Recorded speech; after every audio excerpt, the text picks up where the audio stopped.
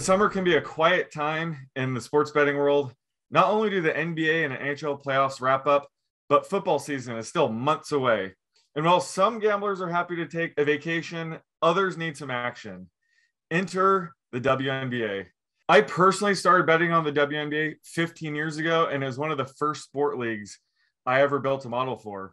And while the markets have gotten a lot sharper over the past few years with more betting volume, it's still one of my favorite leagues of handicap, not only because I enjoy the sport, but because the market is very beatable. So let's dive into my five tips for betting on the WNBA.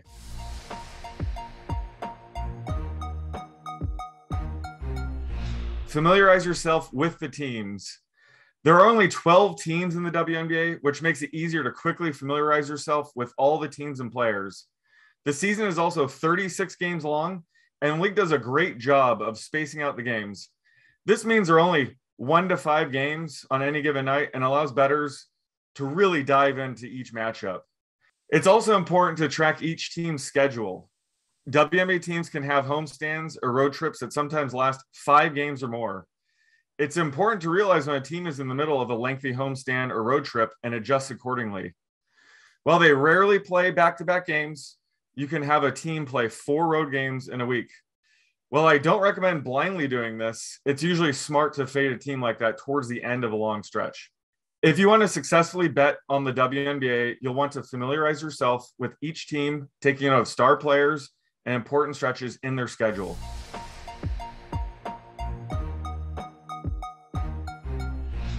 Keep up with the latest news.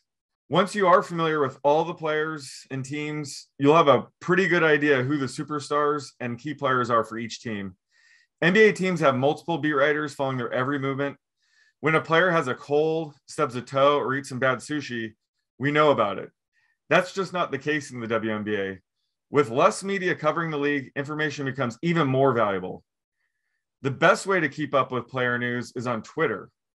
I create specific Twitter lists that include beat writers as well as each team's official Twitter handle, since they are often the fastest way to get the news. If a key player is a game time decision or a surprise scratch, the market can take a while to correct itself. An example would be if Breanna Stewart is a game time decision for the Seattle Storm. Since she's worth around five to six points against the spread, the market will factor that in while we wait for the news if she's in or out. To track her status, I turn my notifications on for the Seattle Storm's official Twitter handle, since they will typically be the first one to break the news if she's in or out. Once her status is given, the market usually doesn't move right away, giving me some time to grab the line before it moves two, sometimes three points. Bettors who can stay on top of the player news have a huge edge over the market.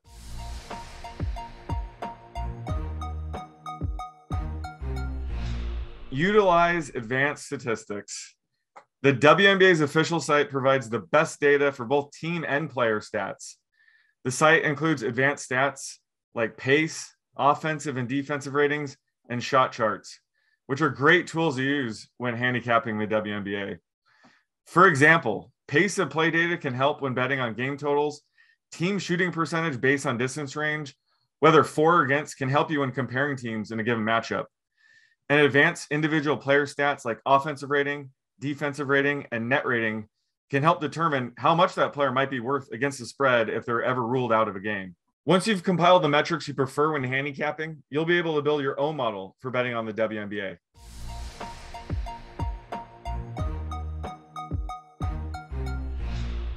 don't rely on traditional sports betting rules. If you're a frequent bettor, you've probably heard terms like fade the public and likely even use that as a good rule of thumb when betting on some of the major sport leagues. However, since the WNBA is a lower volume market, there aren't as many hard and fast rules, and some traditional methods just don't apply. For instance, I don't necessarily target underdogs or unders as heavily as I do in other sports. Additionally, while sometimes it's good to bet the lines as soon as they open, sometimes it's better to wait in order to get more clarity in regards to news. The league is a bit more pure when it comes to trends, so it's important to not blindly use the same logic that you do while betting other sports leagues.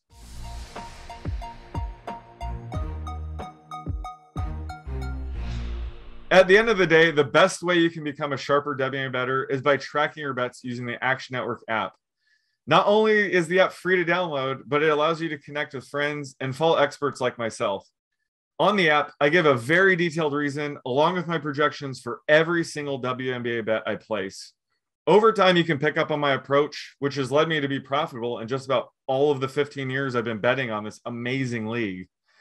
Eventually, you may develop your own approach to betting on the WNBA.